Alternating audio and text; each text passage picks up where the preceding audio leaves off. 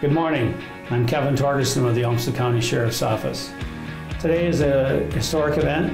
It's a big day here in Olmsted County and southeast Minnesota and certainly the city of Rochester uh, as we welcome the President of the United States. Uh, as you get ready and you get moving this morning, I want you to remind, remind you one more time that there could be traffic delays today. There's going to be a lot of people in town that come just associated to the president's arrival, uh, support, the media, uh, people that are coming from out of town to be at the event or just be around or near the event. Uh, so as you're going about your day today, expect that. Um, plan around those things. Uh, you have a pretty good idea that the downtown area near Mayo Civic Center, uh, streets are going to be blocked and there will definitely be a need for you to, to plan a way around them. Uh, as you go about your day, and if you're planning to come to the event downtown, uh, there's a great opportunity to park in the west lot of RCTC um, out at the college.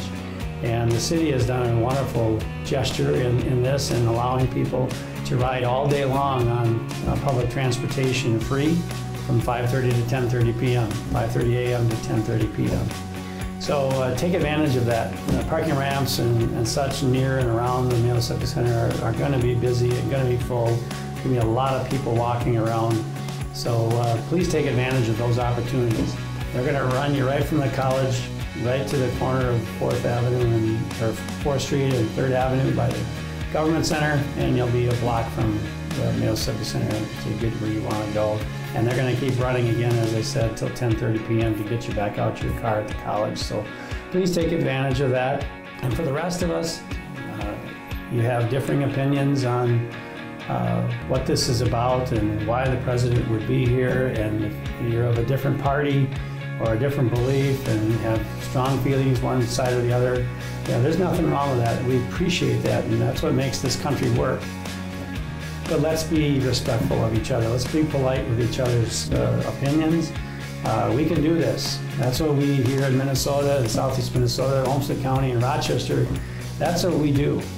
We can show the world that we can have a big event like this, welcome the world to our little part of the world, and still present a, a very positive image and uh, listen to each other's opinions and hear each other's opinions, understand our opinions, agree that we're different, agree that we may disagree, and yet we can move on.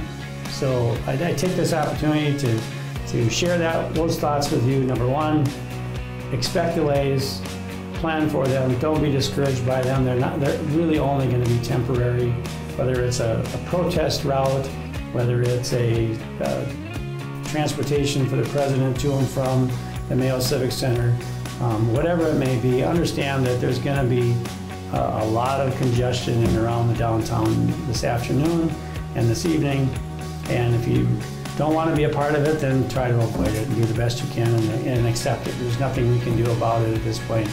Uh, we just need to accept it, understand uh, it's only temporary, and uh, we'll get through this thing together. So thank you for understanding. Thank you for sharing this so that people we'll get a better feeling as to what's going on, and uh, we'll we'll put out a, a, good face here for, for us and, and, and show the world that uh, we can do this right.